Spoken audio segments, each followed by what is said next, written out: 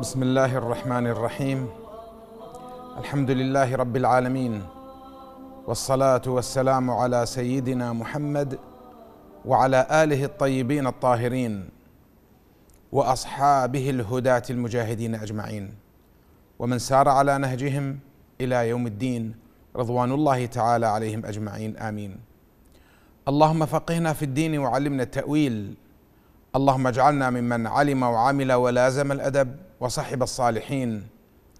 اللهم لا سهل إلا ما جعلته سهلا وأنت تجعل الحزن إذا شئت سهلا. اللهم زدنا علما وفهما وفقها وألحقنا بالصالحين. آمين.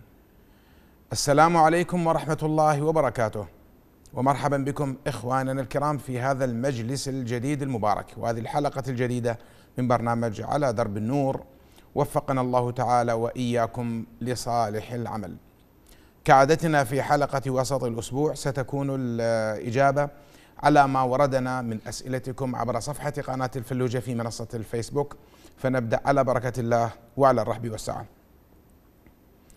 أخت تسأل تقول هل يجوز قراءة القرآن بدون حجاب أمام أبنائي وهم شباب وبدون استقبال للقبلة وأحيانا أتعب فأتكئ على الوسادة فأقرأ. هل يجوز ذلك؟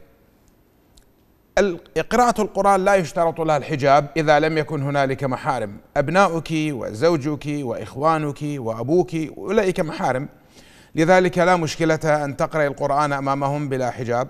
نعم لا مشكلة في ذلك. وكذلك استقبال القبلة ليس واجبا. فمن أراد أن يقرأ القرآن على غير جهة القبلة جائز مع أن استقبال القبلة بالقرآن أفضل يعني لأنه عبادة. لكن لو قرأت على غير جهة القبلة جائز.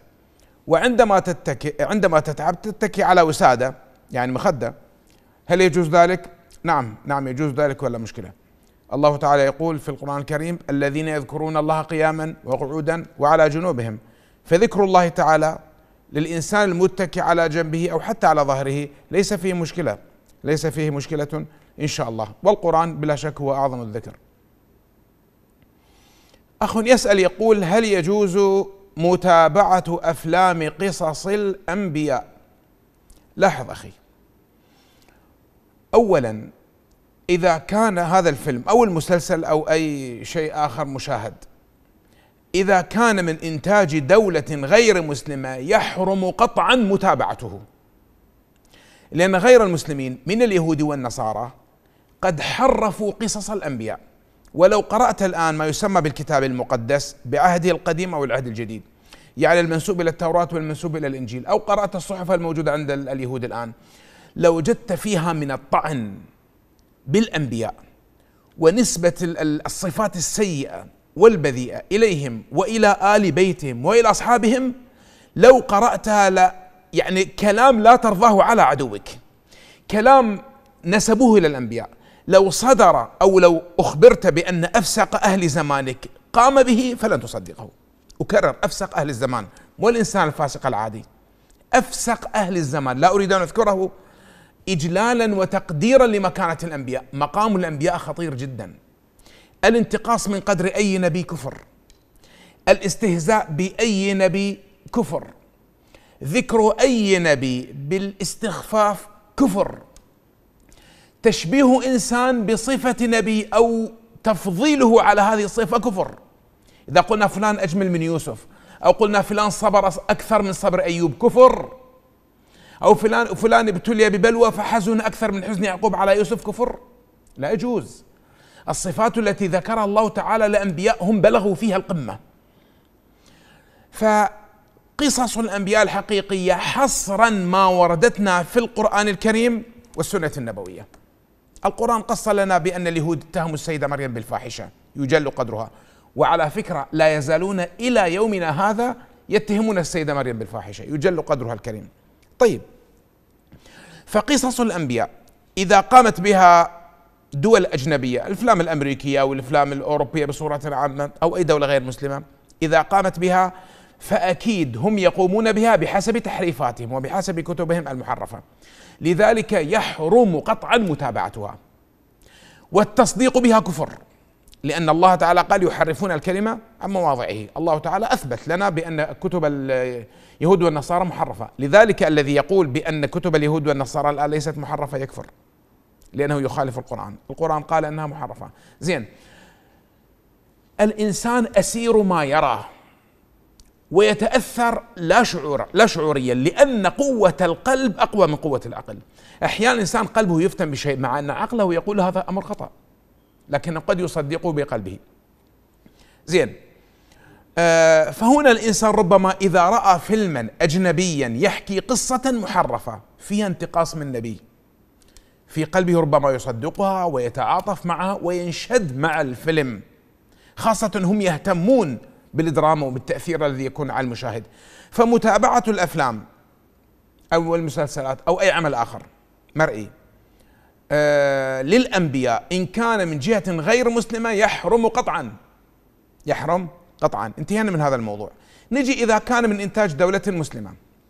فإذا كان هذا الإنتاج يخفي صورة الأنبياء. مثل مسلسل كان مسلسل مصري قديم اسمه لا إله إلا الله. يحكي قصص الأنبياء وفق القرآن الكريم والسنة النبوية.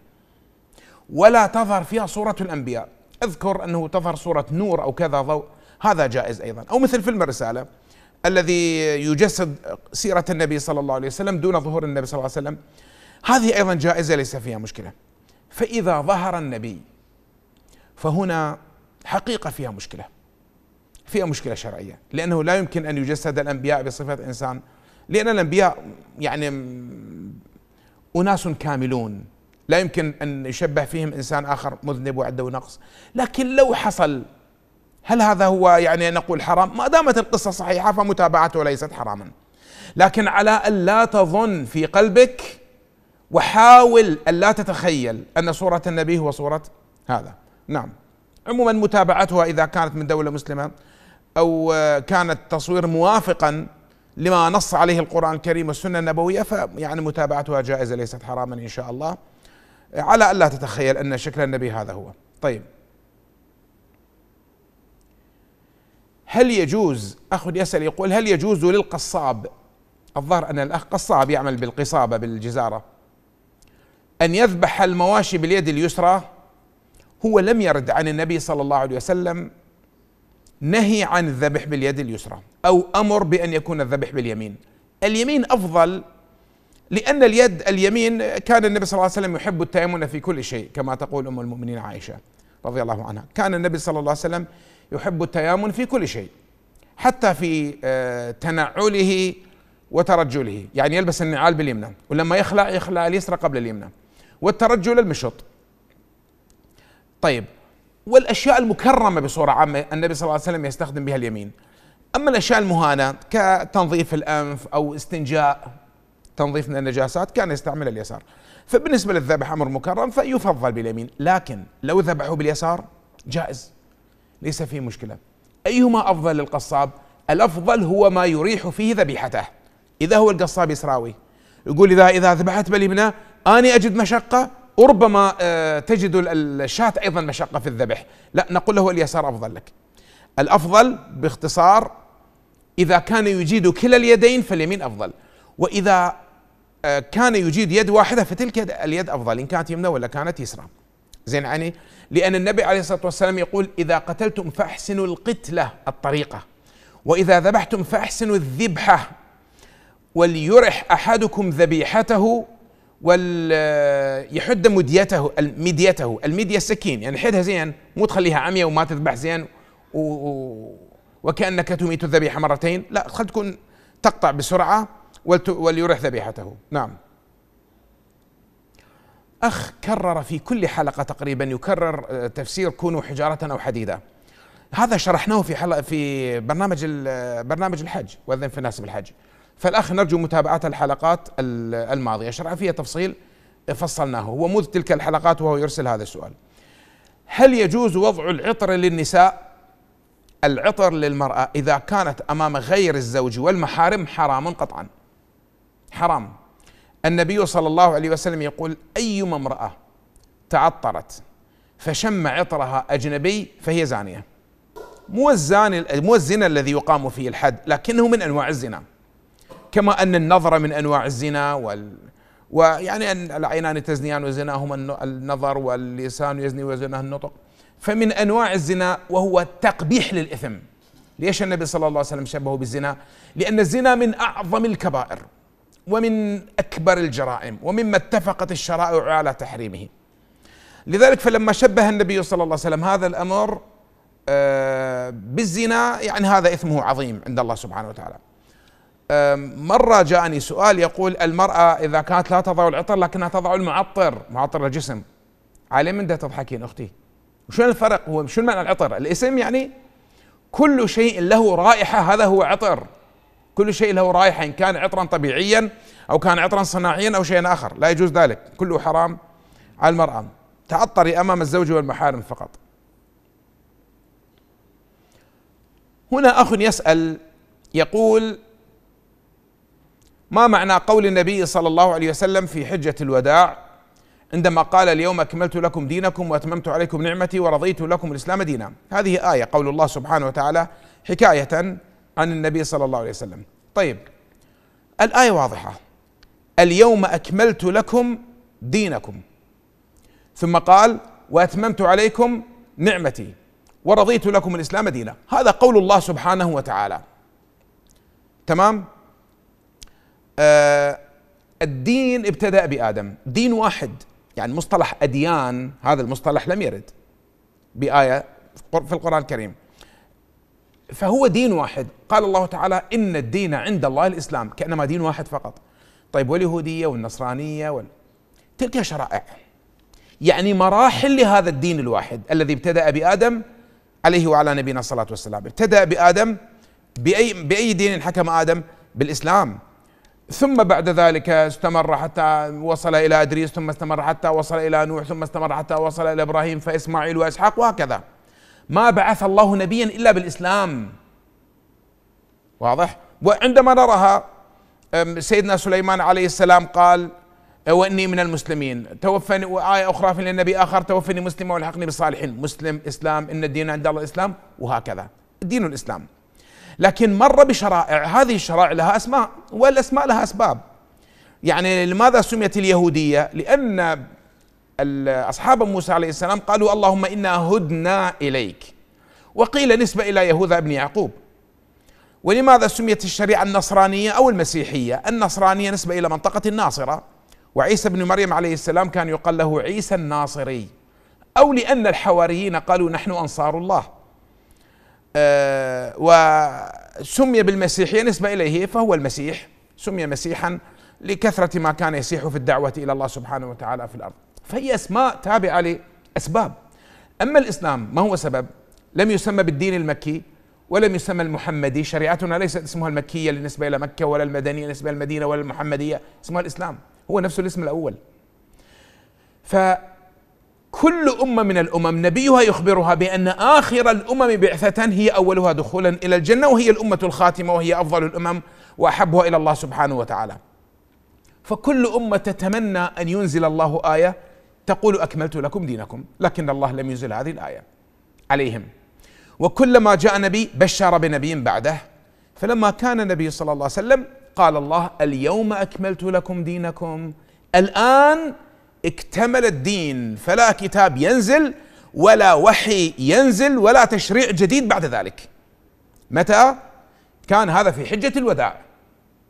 أكملت لكم دينكم الذي ابتدأ بآدم وليس الدين الذي بدأه النبي صلى الله عليه وسلم. النبي صلى الله عليه وسلم عندما ابتدأ بإقرأ من غار حراء هو استمرار للرسالة القديمة. لذلك يقول النبي صلى الله عليه وسلم الأنبياء إخوة ودينهم واحد. حديث صريح صحيح. طيب أكملت لكم دينكم. وأتممت عليكم نعمتي. الدين نعمة لأنه إنقاذ من الضلال إلى النور وإنقاذ من مظالم العبيد إلى عدالة الله سبحانه وتعالى وعدالة التشريع. فهذه نعمة الله سبحانه وتعالى علينا. ورضيت لكم الإسلام دينا. رضيت لكم الإسلام دينا. هذا هو تفسير الآية. طيب يعني خلاص بعد النبي صلى الله عليه وسلم لا يوجد تشريع. خلاصة. هنا أخ يسأل يقول ما سبب تحريم بعض شيوخ أهل السنة بتحريم لعبة البوبجي يعني لا أدري إن كان غير أهل السنة قد أباحوها. بما أنك سألت عن السبب لعبة البوبجي هي عبارة عن مفاسد متجمعة في لعبة. مفاسد كأنها تستهدف أخلاق الشباب. اولا فيها الاختلاط. يعني فتح باب الاختلاط دون أن تتعنى البحث عن رقم اختلاط بين الرجال والنساء.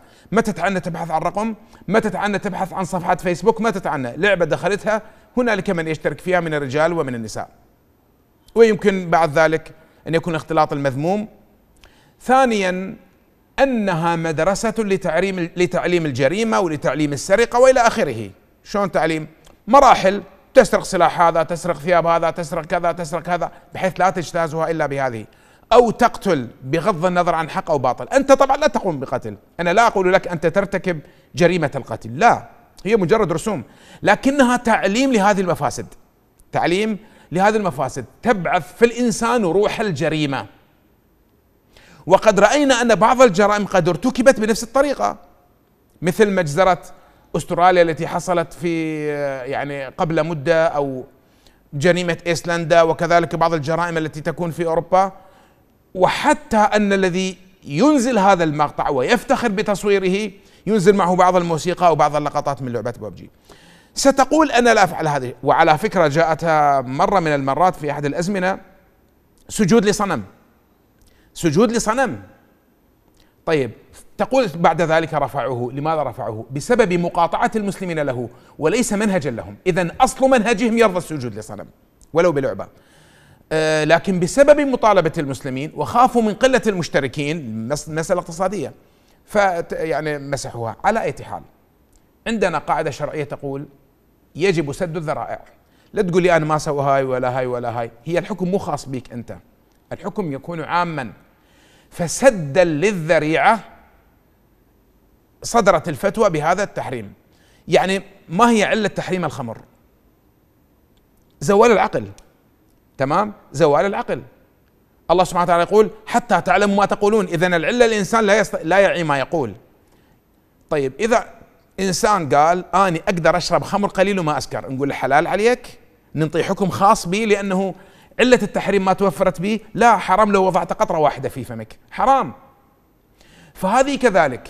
الأصل فيها التحريم بسبب ما حوت من مفاسد. ولا ليش باقي الألعاب ما نقول عليها حرام؟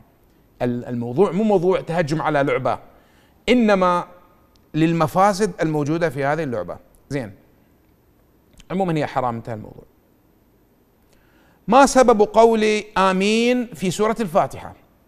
مع أنها غير موجودة في الآية. هل ذكرها رسول الله صلى الله عليه وسلم؟ أريد جوابا صحيحا. أبشر. تجد الجواب الصحيح. طبعا هي ليست آية. قول آمين ليست آية. لذلك الذي صلى ولم يقل آمين صلاته صحيحة ليست باطلة. لكن من السنة والمستحب أن تقول آمين في صلاتك. لماذا؟ لأن النبي صلى الله عليه وسلم قال يعني قال قولها حتى أن النبي صلى الله عليه وسلم ذكر بأن الملائكة تؤمن مع تأمين الإمام. إذا قال الإمام ولا الضالين يستحب أن يقول آمين لكن بصوت أخفض من قراءة الفاتحة. ما يجهر بآمين. الإمام إنما يقرأ فإذا قال ولا الضالين يقول بصوت يعني يسمعه القريبون آمين. فالنبي صلى الله عليه وسلم يقول الملائكة تؤمن مع تأمين الإمام فمن وافق تأمينه تأمين الإمام فقد أمن معه أهل السماء. لذلك الإمام بعد أن يكمل ولا الضالين أن تقول آمين هكذا. حتى يتوافق تأمينك مع تأمين الإمام. وكذلك إذا كنت مفردا تقول هذا ما قاله لنا النبي صلى الله عليه وسلم. نعم. ليست آية نعم. لكننا نقلد رسول الله في صلاتنا. فهو عليه الصلاة والسلام يقول صلوا كما رأيتموني أصلي. وقد نقل لنا الصحابة ومن بعدهم إلى أن وصل إلينا بأن النبي صلى الله عليه وسلم كان يؤمن في صلاته ويؤمن خلفه أصحابه الكرام رضي الله عنهم. أخ يقول في صلاة الفجر والمغرب والعشاء ما سبب عدم ذكر بسم الله الرحمن الرحيم بصوت مرتفع من قبل الإمام؟ مع أنها آية من كل سورة. لاحظ أخي البسملة اولا هل هي آية من كل سورة أم هي آية واحدة يؤتى بها الفصل بين السور؟ عموما هذه المساله محل خلاف. لكن في مسألة الفاتحة ورد عن النبي صلى الله عليه وسلم أنه كان يجهر بالبسملة أحيانا وورد عنه أنه كان لا يجهر. كلا الأمرين وارد. لكنها تقرأ. الإمام عندما تسمعه يقول الحمد لله رب العالمين مباشرة هو يقرأ بسم الله الرحمن الرحيم في قلبه. لم يجهر بها. وهكذا فعل النبي صلى الله عليه وسلم. وإذا جهر بها الإمام فايضا النبي صلى الله عليه وسلم أحيانا جهر بالبسملة. لذلك كلا الأمرين موجود. نعم. سائل آخر يقول والدتي تسأل هل يجوز إعطاء الزكاة والصدقة لابن أخيها وهو يتيم الأم والأب ووحيد وليس لديه إخوة؟ يعني بلا شك ابن الأخ وابن الأخت والأخ والأخت كذلك يجوز اعطائهم من الزكاة إذا كانوا محتاجين. ولا بد أن نبين بأن اليتم ليس من أسباب الزكاة أو الكفارة أو شيء آخر لأن هنالك يتيم غني. يتيم بس أبوه خلاله إرث وخلاله تركة كبيرة. هذا لا. لكن إذا كان يتيما فقيرا فله أولوية. اليتم مساعد لأن اللي عنده أب وهو فقير الأب يشتغل ويجيب له أو يشتغل لكن يتيم صغير. هذا إذا كان فقيرا فهو أولى. وكونه ابن أخ وكونه ابن أخت بعد أفضل طبعا. الأرحام أولى بالزكاة إذا كانوا فقراء من الأباعد. لأن الصدقة للغرباء صدقة وأجر عظيم طبعا. وهي للأرحام صدقة وصلة رحم. تمام؟ أيهما أولى الرحم أو الفق أو الغريب؟ ذو الرحم يعني القريب أولى. لكن إذا تساوت الحاجة مو ابن عمي فقير وواحد غريب راح يحتاج عملية راح يموت إذا ما يسويها لا ذاك ذاك أولى. لكن عند تساوي الحاجة. هذا فقير وهذا فقير. نعم هنا القريب يكون أولى. يعني كما يقال الاقربون أولى بالمعروف. هذا ليس حديثا لكن هي قاعدة صحيحة. طيب. أخت تسأل يقول هل يجوز للمرأة أن تصلي أمام غير المحارم كابن خالتها وما شابه ذلك؟ لا يجوز ذلك. لا يجوز إلا إذا كانت مثلا كبيرة أو مقعدة تصلي هي جالسة يجوز. لأن لأن سبب التحريم ليس نفس الصلاة. سبب التحريم لأنها ستركع وتسجد وتكون في هيئات لا ينبغي أن تفعلها المرأة أمام الرجل. كهيئة الركوع وهيئة السجود. لذلك المرأة تصلي مختلية بعيدة عن الأجانب. مقصود بالأجانب يعني غير المحارم. ابن العم وابن الخال أجانب. هذا السؤال يجرنا إلى مسألة تربوية. أوصيكم إخواني وأخواتي ممن لكم بنات. انصحوا بناتكم من حيث التربية. قولي لهن إذا سقط منك شيء وأنت في طريق أو في دائرة أو في شارع أو في مدرسة أو في أي مكان آخر يوجد فيه رجال فلا تنحني لحمله. إنما كوني بهيئة الجالس لا بهيئة الراكع. إنما كوني بهيئة الجالس واحمليها ثم قومي لا تركعي. لا تنحني بهيئة الركوع. إنما اجلسي ثم ليس الجلوس على الأرض إنما يعني النزول إلى الأرض واحمليها. فإن هذا أحفظ للمفاتن. وإذا كنت جئت إلى مصعد مصعد كهربائي وجدت فيه رجالا رجل واحد أو أكثر فلا تصعدي حتى تكوني بمفردك أو يكون معك نساء. وإذا جئت إلى درج للصعود وجدت خلفك رجلا فلا تصعدي أمامه بل تنحي جانبا ثم تدعيه حتى يصعد فإذا صعد فاذهبي بعد ذلك حتى لا ينظر إليك وأنت تصعدين. وهكذا. يعني هذا أحفظ للمرأة فإننا في وقت غواية القابض على دينه كالقابض على الجمر. ونحن في زمن الغربة والنبي صلى الله عليه وسلم يقول ابتدأ هذا الدين غريبا. وسيعود غريبا فطوبى للغرباء. إياك أن تستمع لمن يقول لك لم تبقى هذه الأشياء في زماننا. تلك أمور غريب تلك أمور قديمة. أو هذا الزمن يختلف عن ذلك الزمن؟ لا. الأخلاق واحدة والزمن لا يختلف لكن اختلفت الطبائع واختلفت السجايا. نعيب زماننا والعيب فينا. وما لزماننا عيب سوانا.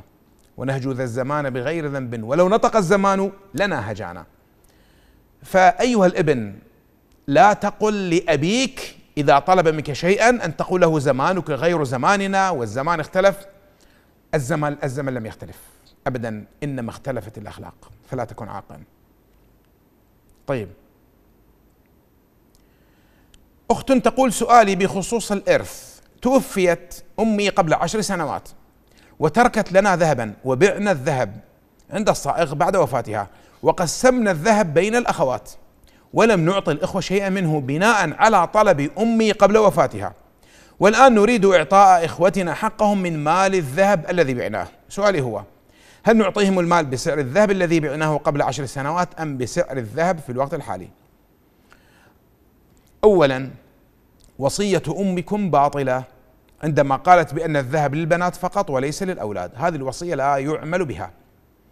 لأن النبي صلى الله عليه وسلم يقول إن الله قد أعطى كل ذي حق حقه ألا فلا وصية لوارث. ماكو وصية للوارث. هذا ذهب مال يقسم حسب القسام الشرعي.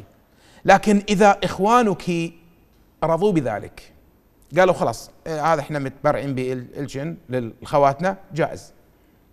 أما إذا طالبوا فيحق لهم ذلك. طيب الآن نجي نقول نفترض طالبوا. نفترض أنهم طالبوا.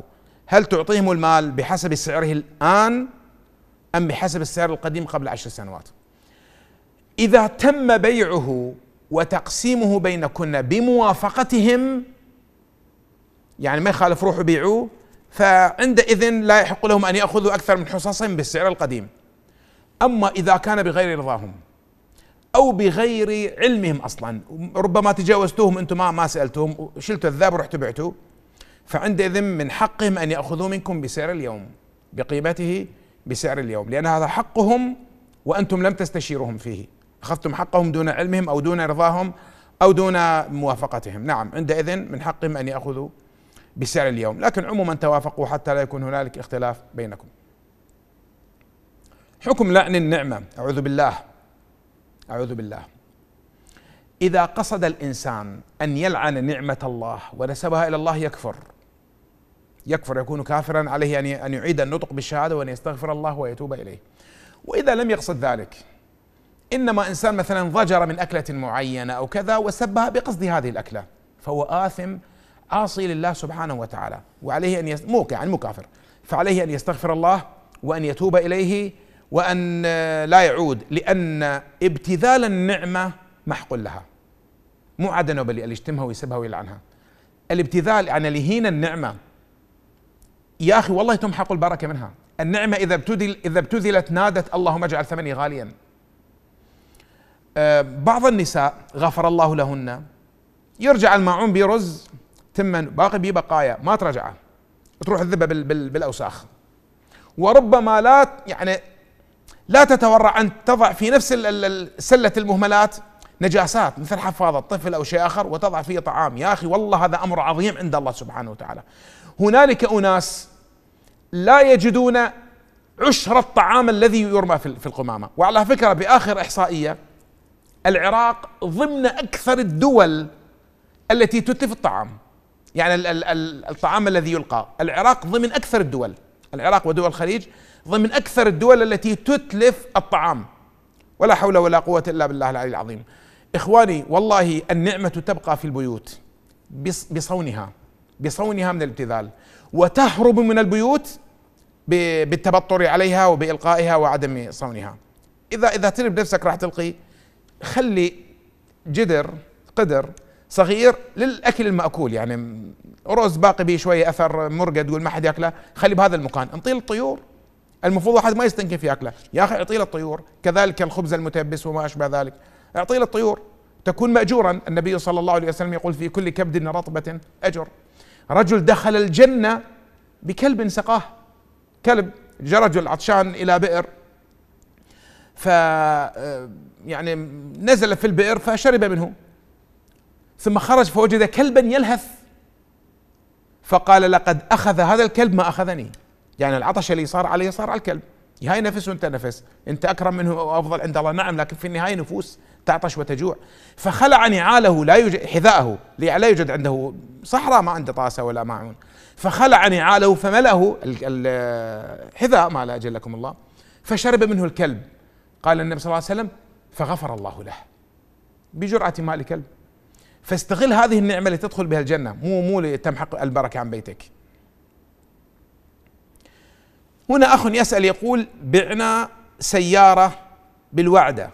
مصطلح الوعدة مصطلح عراقي يقصد بالدين. دين أو تقسيط على أمد بعيد. يعني بالدولار. هل إذا ارتفع سعر الدولار أو نزل حرام؟ لا أخي مو حرام لكن ما لك حق. إذا مثلا نزل الدولار تقول لا أريده بالعراقي وإذا صعد الدولار تقول لا أريده بالدولار. بما أنك بعتها بالدولار. بعت هاي السيارة لنقل بعشرة آلاف دولار.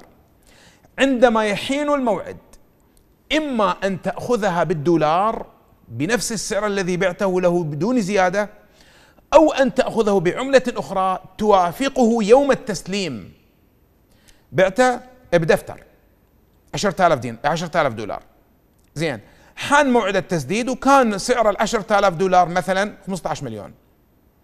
إما يعطيك 10000 دولار أو يعطيك 15 مليون عراقي. ما يصير تقول له أنا لما بعت لك إياه كان يسوى 16 مليون أو هو يقول لك كان يسوى 13 مليون. ما يصير. إنما العبرة إما بالسعر نفسه الذي انعقد البيع عليه. بيش انعقد البيع بالدولار؟ إما تنطيه بنفس السعر بالدولار أو بقيمته بالعراقي بسعر يومه يوم يوم التسديد مو يوم البيع. عندئذ يكون البيع حلالا نعم. ارتفع الدولار أو لم يرتفع لا يهم. أنت بعتها بالدولار تستلم دولار. تكون بايع تكون خسران هذا يعني مو مشكلة. لأن العبرة ليست بالدينار العراقي لأن عملة البيع هي الدولار. صعد نزل مو مو مشكلة. ما يجوز يتغير البيع. طيب. أخ يقول أحيانا عندما أكمل الصلاة أرى في لباسي بعض النجاسة. فماذا أفعل؟ هل أعيد الصلاة؟ طبعا بلا شك. أنت لم تذكر ما هي النجاسة. إذا وجدت إذا تقصد الدم فالدم يتسامح فيه إذا كان بمقدار راحة راحة اليد هذا الكف. يسمى مقدار الدرهم الدرهم البغلي أو الكذا. إذا كان بمقدار هذا الدم بهذا الحجم وطبعا غالبا ما راح يكون بهذا الحجم. إذا كان بهذا الحجم جائز ماكو مشكلة لا تعيد. لكن البول أو الغائط يجب آه، غسله مو شرط ألا تغسل الثوب كله ولا تغسل أنت.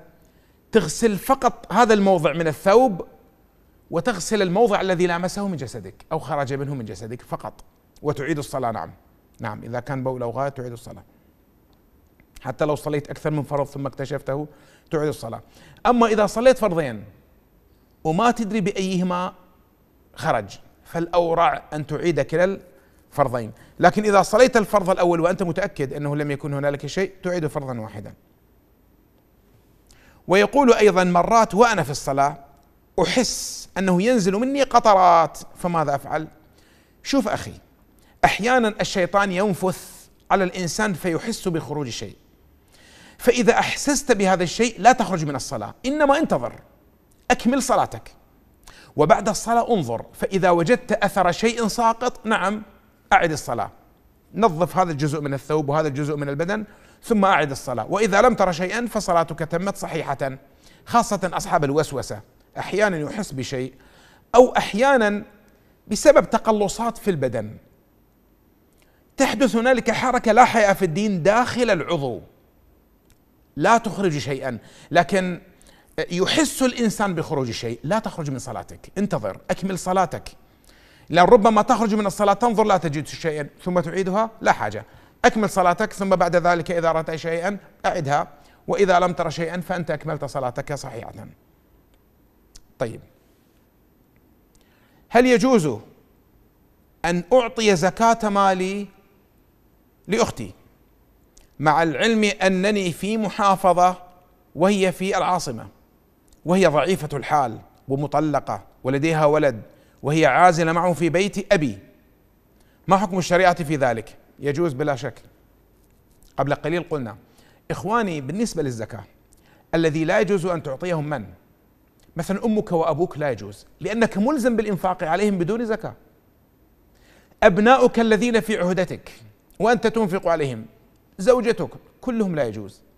يعني الأصول والفروع. أما الأجنحة الإخوة الأخوات وأبنائهم العمة والخالة العم والخال وأبنائهم كلهم إذا كانوا فقراء يجوز لهم الزكاة بل لهم الأولوية. تمام؟ لهم الأولوية إذا تساوت حاجتهم مع فقير غريب لا هم أولى. فبالنسبة لسؤالك آه، هي أختك فهي من الأجنحة. ليست من الأصول ولا من الفروع. لا من طلعت منهم ولا من طلعوا منك باختصار. فالأجنحة يجوز الزكاة لهم الإخوة والأخوات والأعمام والعمات والأخوال والأخالات. وأبنائهم نعم كلهم يجوز لهم الزكاة. أخ يقول هل يجوز شراء هدية بفلوس الزكاة لمريض علما دون أن أقول له هذه زكاة؟ لاحظ أخي كان بتفصيل. أولا إذا كان هذا المريض فقيرا ضعيف الحال ممن يستحقون الزكاة؟ الشرط الأول. مو لأنه مريض وحالته زينة تعطيه زكاة لا يجوز حتى لو لم يكن مريضا لا يجوز. إنما إذا كان فقيرا هذا الشرط الأول. والشرط الثاني أن تكون هذه الهدية مما ينتفع منه. مو مدي له باقة ورد من فلوس الزكاة. لا هذا لا يجوز. الأفضل أن تسلمها له نقودا. فلوس. لأن الآن أعرافنا ما يخالف العرف لما إنسان يروح على الفقير وينطيه فضل يخلي جو المخدة فلوس. جائز.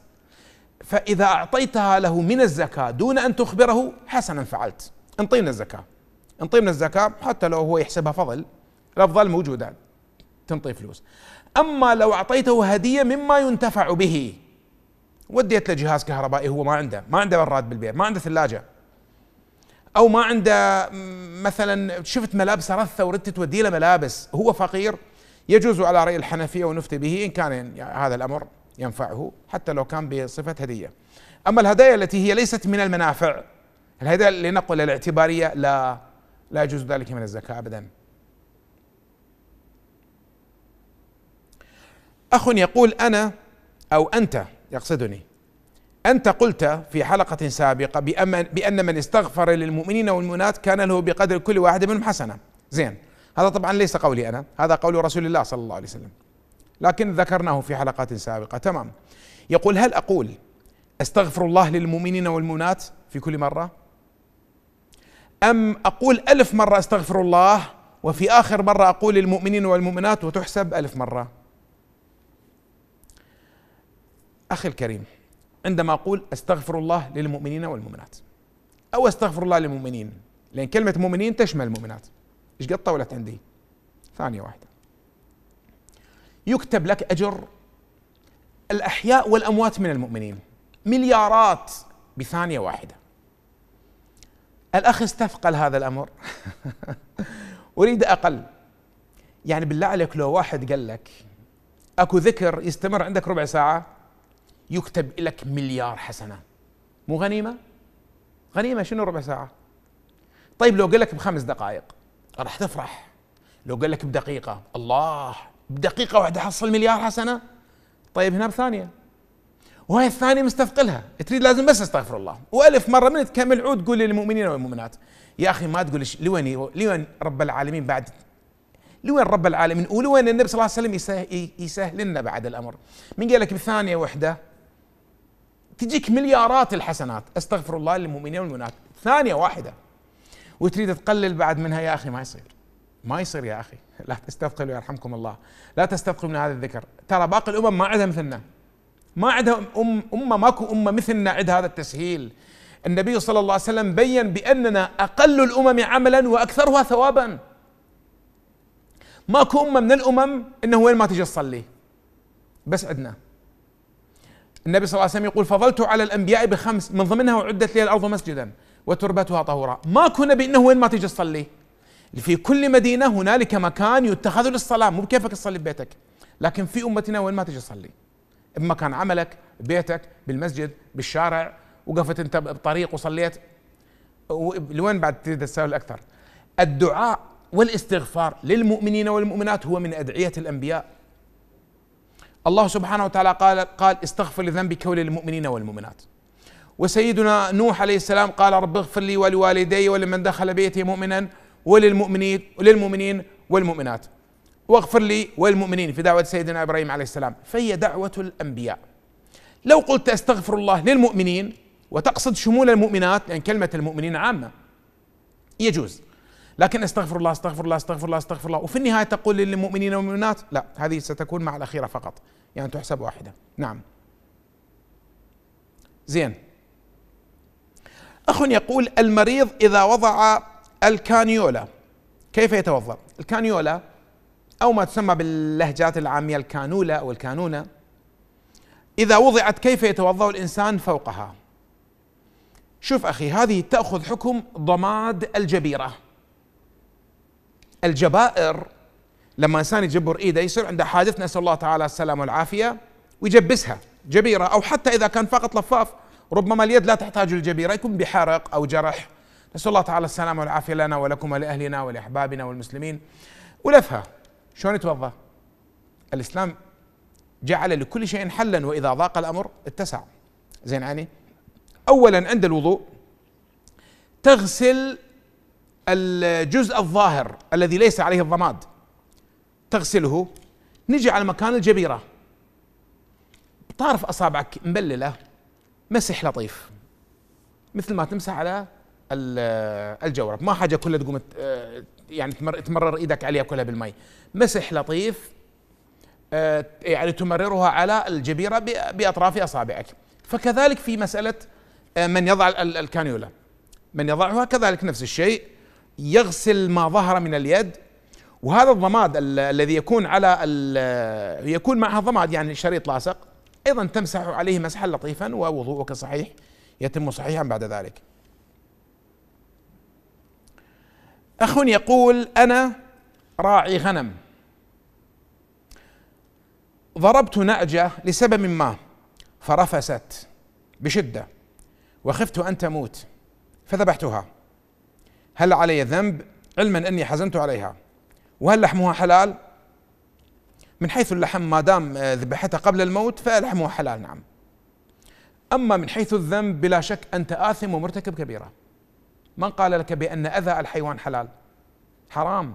هنالك نصوص كثيرة جدا تأمرنا فيها بالإحسان إلى الحيوان بل هنالك نصوص أن انسانا دخل النار بسبب حيوان وإنسان دخل الجنة بسبب حيوان. قبل قليل ذكرنا الرجل الذي دخل الجنة بسبب كلب سقاه. وفي الحديث الآخر يقول النبي صلى الله عليه وسلم دخلت امرأة النار في هرة حبستها. لا هي طعمتها ولا هي تركتها تأكل من خشاش الأرض. طيب فهذا آه، حرام بلا شك. ضربك للنعجه إلى درجة يعني الخروف إذا إذا ضرب يتحمل. لكن أنه يبدأ يرفس إلى يا قاسي يا رجل وأنت راعي. المفروض يكون قلبك أرق بمواشيك من غيرك. تضربها إلى درجة أنها ترفس إلى أي درجة أوجعتها. غفر الله لك. بلا شك أنت آثم مرتكب كبيرة يا أخي. الإنسان إذا حمل الحيوان والحيوان من صفته أنه يحمل الأحمال والحيوان ما يغضب من يتحمل عليه هو شغلته هل رأيت فرسا هرب من صاحبه أو حمارا هرب من المزرعة؟ لا علما أنه يحملون عليه فهو راضي هذه فطرته. لكن إذا حمل أكثر من طاقته يكون الإنسان عاصيا. أمرنا النبي صلى الله عليه وسلم بالترفق في أحمال الحيوانات ذوات الأحمال. تصور سيدنا ابو أبو الدرداء رضي الله عنه الصحابي الجليل إمام الشام إمام فقهاء الشام.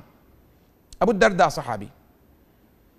لما بدأ ينازع قال قربوا مني بعيري. فقربوا منه استغربوا ماذا يريد؟ فقال أيها البعير لا تشكني أمام الله فإني لم احملك في حياتي ما لا تطيق. الله أكبر. لما صار ينازع. جاء كأنما يستوهب من البعير. يقول له لا تشتكي علي يم الله. ترى والله ما في يوم حملتك شيء ثقيل. هكذا هم تلاميذ مدرسة سيدنا محمد صلى الله عليه وسلم. نحن لو اتبعنا ديننا لكنا والله العظيم فوق الأمم كلها. الآن تأتينا جمعيات رعاية الحيوان وجمعية كذا. في النهاية يصعقون الحيوانات ويضعونها في المياه الكهربائية الصاعقة وليصعقوها بالكهرباء و ويقولون نحن رعاة.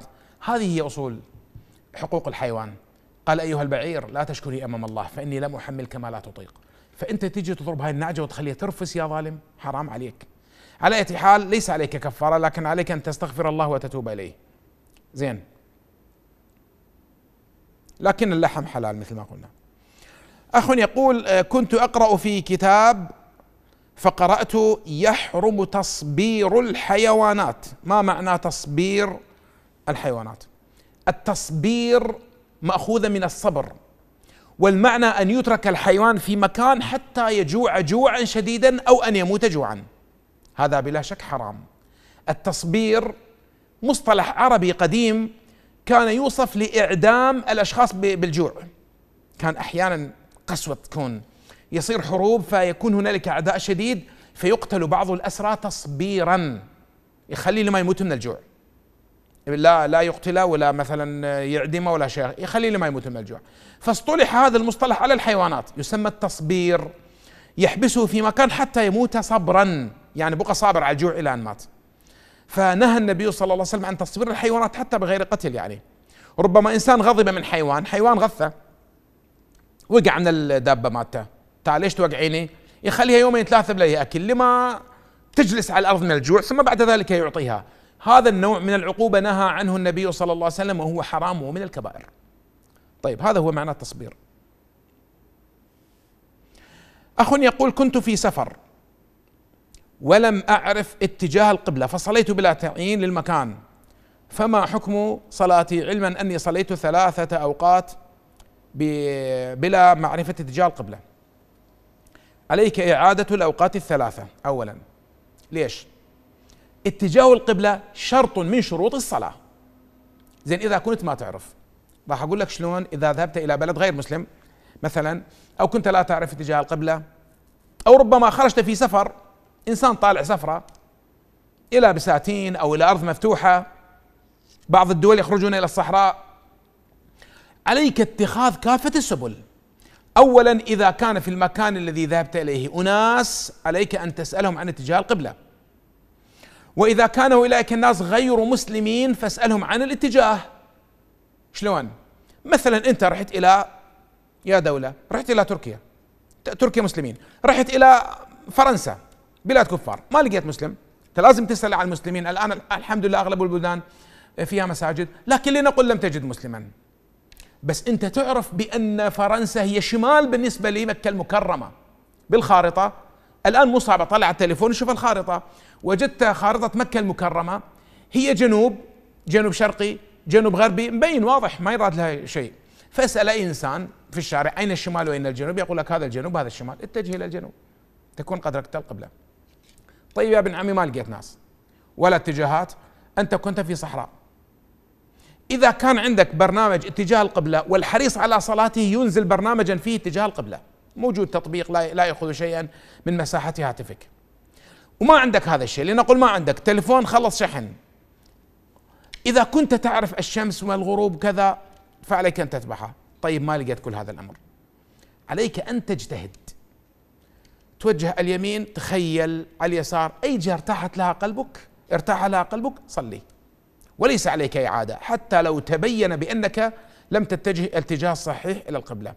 أما تجي بدون ما تتعب نفسك ولا تبع اتجاه القبلة يلا خل اصلي هيك. الله أكبر. عليك الاعاده تكون عليك الاعاده لأنك فرطت بشرط من شروط الصلاة. طيب. آه، هنا أخ يسأل يقول هل يجوز قضاء صيام يوم عرفة؟ لا. لا هذا آه، وقت منضبط بزمن معين. وقت يعني فضيلة متعلقة منوطة بزمن معين. فإذا آه، فات ذلك الزمن فإنه لا يقضى. طيب. هنا أخ يقول في هذا الشهر شهر ذي الحجة كان اليوم الأول من الأيام البيض هو آخر أيام العيد وقد ذكرت أنت في البرنامج بأنه لا يجوز صيام أيام العيد. وأنا معتادة أن أصوم الأيام البيض الثالث عشر والرابع عشر والخامس عشر من كل شهر. وهذا الشهر صمت الرابع عشر والخامس عشر. هل أصوم يوما آخر بدلا عنه؟ نعم الأفضل أن تصومي يوما آخر. لأن النبي صلى الله عليه وسلم كان آه، يدعونا إلى صيام ثلاثة أيام من كل شهر على الأقل. أن يصوم الإنسان أن لا يترك صيام ثلاثة أيام من كل شهر على الأقل. أفضلها الأيام البيض. التي هي الثالث عشر والرابع عشر والخامس عشر. فإذا لم تكن الأيام البيض فأي ثلاثة أيام؟ أي ثلاثة أيام؟ يفضل على الإنسان ألا آه، يفرط بهذه السنة المؤكدة. أن تصوم ثلاثة أيام من كل شهر على الأقل. نعم. وهي سنة مؤكدة وليست فرضا. طيب. انتهى وقت البرنامج. أسأل الله سبحانه وتعالى أن يتقبل منا ومنكم صالح الأعمال. يدعو بعضنا لبعض إن شاء الله. صلى الله وسلم وبارك على سيدنا محمد وعلى آله وصحبه أجمعين. والسلام عليكم ورحمة الله وبركاته.